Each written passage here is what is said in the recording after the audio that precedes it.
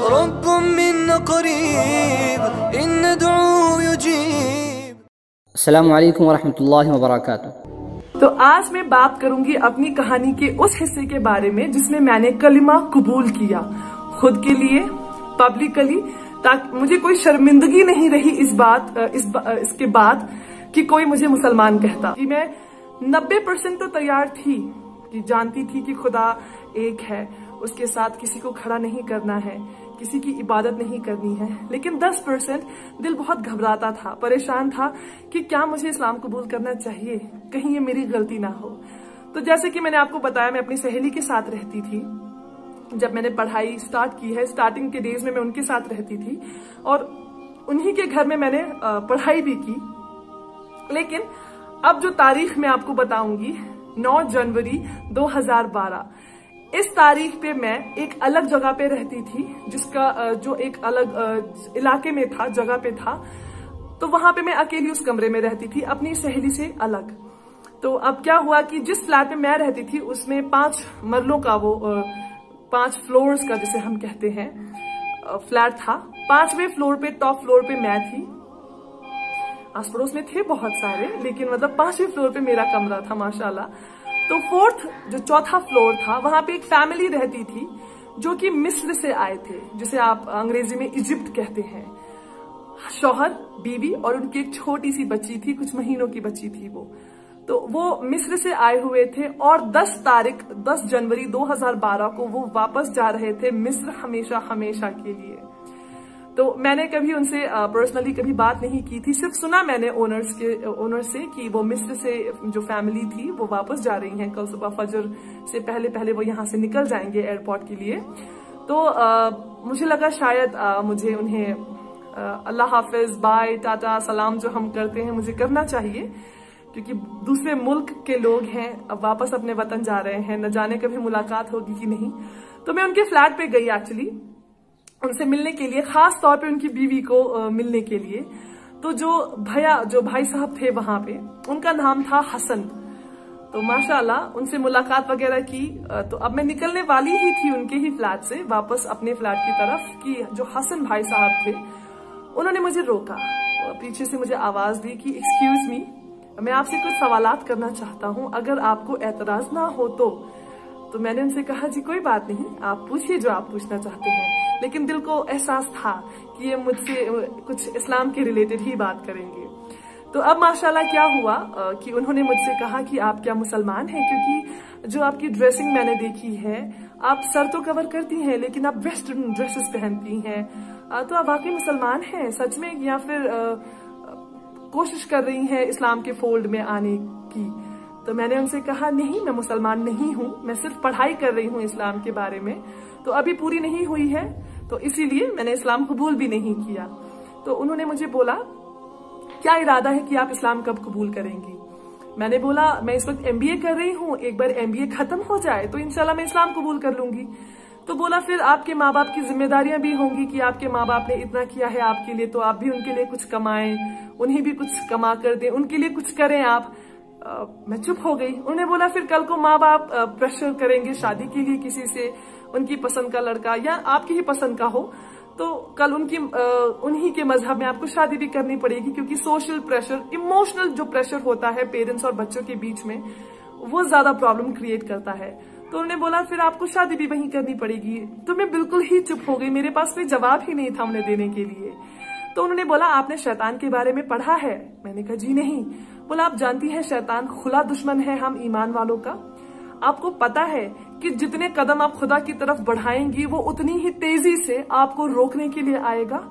मैं बहुत हैरान, बहुत परेशान कि ये क्या बोल रहे हैं भैया? मतलब मैंने सुना तो है कि शैतान है जो बहुत कोशिश करता है कि भटका सके, लेकिन ऐसा कुछ वाकई हो सकता है मेरे साथ? तो उन्होंने बोला, हो सकता है ये शैतान के वसवसे हों आपके दिमाग में जो डाल रहा है कि आप आज नहीं, कल करें, कल नहीं, परसों करें, परसों नहीं, एक महीने बाद करें। तो हो सकता है ये शैतान का वसवसा हो आपके लिए। मैं चुप, मैंने कुछ खास उन्हें जवाब नहीं दिया क्योंकि जवाब मेरे पास था नहीं, क्योंकि हो सकता था, ये हो सकता था प्रोबेबली था भी शायद यही। तो उन्होंने मुझे कहा, क्या आप अब इसी वक्त कबूल करना चाहेंगी इस्लाम? क्या आप कलमा पढ़ना चाहेंगी? न जाने कहाँ से वो हिम्मत आई अल्लाह की रहमत से। मैंने उन्हें कह दिया, जी हाँ मुझे इस्लाम कबूल करना है और अभी करना है। तो उन्होंने मुझे कलमा पढ़ाया, ला इलाहा मुहम्मद वसल्लम। इबन जो जिसे हम दूसरा कलमा कहते हैं, अशहदु अल्लाह इलाहा इल्लल्लाह व अलैहि वसल्लम। मुझे पढ़ाया और अंग्रेज़ी का जो ट्रांसलेशन जो उसका माना था, वो भी मुझे समझाया। उसके बाद मुझे नहीं पता मुझे क्या हुआ है कि मेरी पूरी बॉडी कांपना शुरू हो गई है।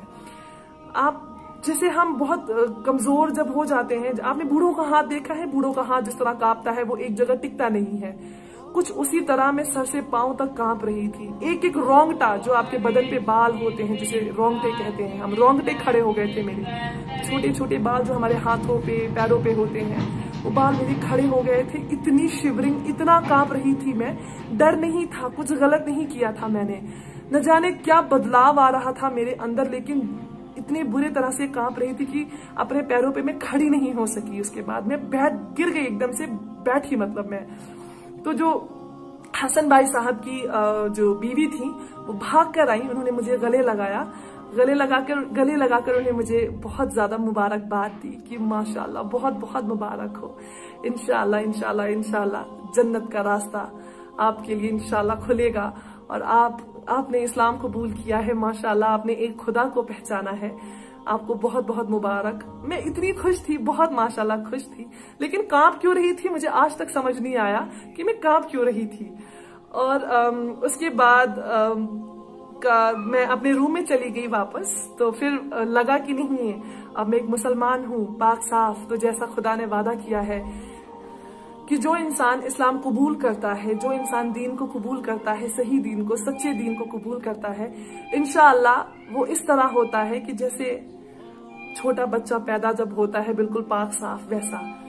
बहुत खुश थी, बहुत खुश थी कि मैंने जो आज तक गलतियाँ की हैं, सब माफ़, माशाल्लाह सब माफ़। आप जरा सोचे कि आपको अल्लाह ताला बोले कि आपने जो भी गलती की है, सब आपको माफ़, माशाल्लाह कैसा कैसा महसूस होगा?